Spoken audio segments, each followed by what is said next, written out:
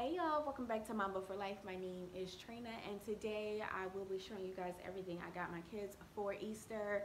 Um, and I'm going to be making an Easter basket for my youngest and so um, I thought I'd share that with you guys because I've had some of you ask me about that. Now I will tell you, I don't necessarily celebrate Easter like everybody else celebrate Easter, okay?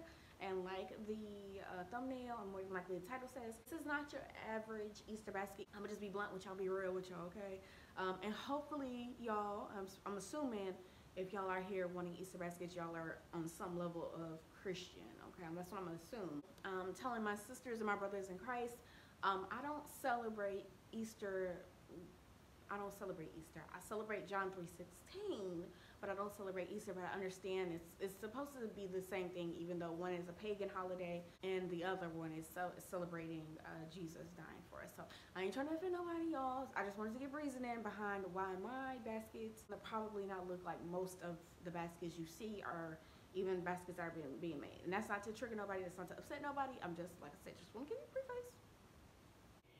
Uh, this is the Easter basket we will be working with. So I'm going to use this for my baby boy's basket. I only grabbed one, y'all, just because there's like, I like Easter baskets, but they're not something I can use every day. So um, I didn't want to be wasteful by buying it knowing I'm going to donate it. So I bought one for the purpose of this video. But they have a huge variety. Um, you can even switch out the color of this ribbon if you want to. I have blue ribbon, y'all, but I cannot find it. So I'm gonna just leave this. We're gonna go ahead and jump into these gifts. I did grab two of these cute little cups for the youngest two. I grabbed one with a chick on it. It's a green cup. And then I grabbed a blue one with a gnome with that has bunny ears and a carrot. I thought these were too cute. But everything that did not directly correlate back to Christ, um, I did want to try to point it back in that direction. So I know I'm super corny, but um, I did put little sticky notes on the back for the kids just so they could see how it goes back to Jesus. I grabbed some necklaces from the Dollar Tree as well. I got these, I want to say uh, over a month ago, but uh, they had three different varieties and I only seen these at one store. So if you don't see them at one store, definitely look at another one. Everyone has their own gratitude journal. So this is Imari's, this is Asante's, this is Kentrell's, and this is Tishon. So everyone knows exactly which one is theirs.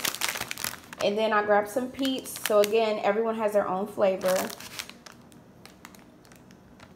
And I like getting the kids different flavors just because if they decide to share with each other, they can. But on the back of each one, again, this is not Christ. Um, I did put on the back the John 3.16 Sweets to remind us how sweet Jesus' love is. I love that. I thought that was cute. And everyone did get two sweets. So you, everyone got a pack of Peeps and then a pack of some type of gummy candy. And on the back of the uh, on the back of the gummy candy, everyone got a different Bible verse um, about something sweet. I know I'm a little extra, y'all. All right, so everyone has a different one. Y'all thought this one's so fitting for Santa, y'all, because that, that little one honey, he can say some mean stuff. So I thought this one would be great. And then I grabbed all of the boys a Bible. No one has an actual paper Bible until now. I still need to go grab one. These are $12.48 at Walmart. I prefer the King James Version, but the kids understand uh, the NIV version better. So I did grab all four of them. That one, I'm going to get me one as well. We've been doing Bible study on the Sabbath as a family, and we've been using our electronics to do that. So it's going to feel really great to be able to use uh, the actual Bible to do this. So I'm hoping that encourages them to read their Bible more. Um, and I also grabbed a notebook for everyone so they can take their little notes. Y'all, and these were only a dollar and some change at Dirt Cheap. So that was awesome as well. And they all have their own. So Asante has been asking to play um, Asante has been asking to play soccer for a while. So I grabbed him soccer. Kentrell has the football one. Tashawn got a blue one. And then Imari got one about, I'm going to say it's like something. All right, y'all. So I'm going to put this one at the bottom of Asante's. So this is going to be something he shares with his brothers this Sabbath. Um, I want to say I want every Sabbath, like after we have Bible study together, um, we've been reading a chapter or two out of Proverbs. Um, after we do that, I want to be able to like somebody to be able to share a treat. So we're going to start with the youngest. So that's going to go at the bottom of his basket. And then I'm going to put his little journal in there. And we're going to grab his Bible. Just like that.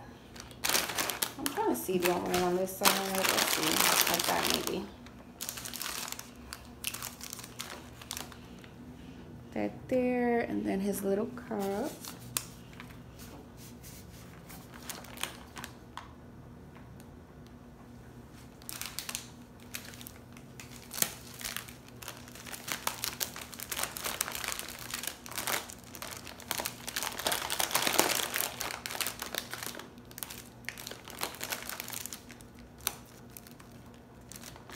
We're gonna put that right there.